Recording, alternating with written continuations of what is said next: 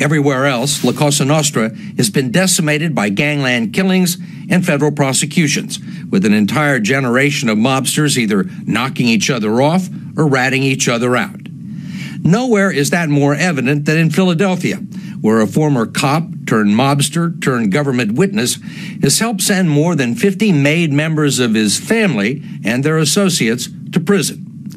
Big Ron Previte didn't do it to save his own neck. He did it for nearly a million dollars. In many ways, Previte's career embodies the waiting days of La Cosa Nostra in America, where the only honor left is survival.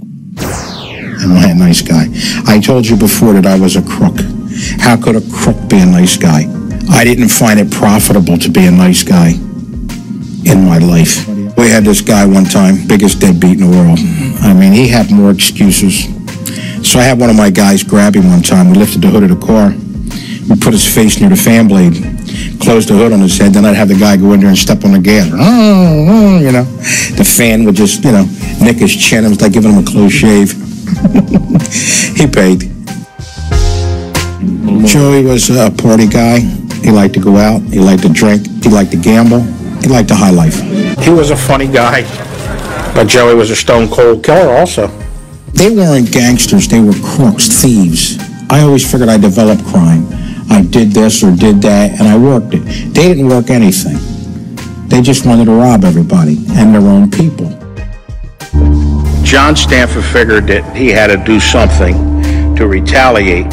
So we had people on the street all the time looking for different guys. And at this time, he had John Veasey looking for uh, Joey and Ciancaglini. They rolled up on him one day and found both of them coming out of a little clubhouse they had in South Philly. And they opened fire on them. When you're an informant, you're not supposed to kill. John Stanfa wanted to kill everybody. Kill this one, kill that one. I knew if I murdered someone for John Stanfa, I was going to jail. I was going down. It was 24 hours of crime every day. Every day, day after day. It was hectic. It was vicious. It was nasty. But like everything else, honestly, it didn't bother me. We were actually like a street gang at the time. I thought we were the Bloods and the Crips. Just running around shooting people and I mean, it was crazy. My allegiance was to me, not to no mob. They never did nothing but rob me. The Godfather, I love that movie. Greatest movie ever made. But I think it's listed as fiction, isn't it? I wish the mob was like that, but it's not. Being an informant with the FBI is not an exact science. You don't have a day, Tuesday, 4.30 to meet. I would meet with them when I could, and I would talk to them when I could. I had to be very careful, and I was good at that like I was good at everything else. I knew instantaneously how to be a rat. I knew what to do, I knew the information to give them, and I knew the information not to give them. The FBI pandered to my weakness, which was money, and they threw a lot of money at me, and I took it. I was making, geez, I mean, 9000 a month plus expenses. People say that it was the greatest deal ever brokered with the FBI. I don't know that. I just know what I've been told. I didn't say it was the greatest deal. Other people have said it's the greatest deal. I think I was underpaid. I should have made more money. I took a chance every day. It was like jumping out of airplanes every day. When I hear people say how much money I made, well, you go do it. You go do it. Strap that thing on and, you know, go in a viper's pit every day. When I used to have the wire on, they taped it and taped it up top on my underwear.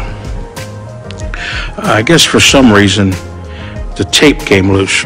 I never wear socks, and I had my foot up on the table. And I looked down, and the wire was hanging right out of my leg. And I casually put my leg down. I got up and said that, you know, I had to run. Every day was a close call when you wear that thing. You, you could get found out at any point. I was smart. And you know the main thing is? Do you want me to tell you the main thing? I was lucky. I was very, very lucky. I don't want to sound like a tough guy because I'm really not a tough guy. I just never let fear permeate my being. I have no control over what's going to happen, when I'm going to get killed, when I'm going to die. I, I just have no control. So I, I just say don't worry about it. Testifying was, uh, to me, an exhilarating experience. The newspaper said I did very well in court. FBI was uh, the, the best law enforcement agency I ever worked with. They knew what they were doing. They had the right equipment. The guys were smart and savvy.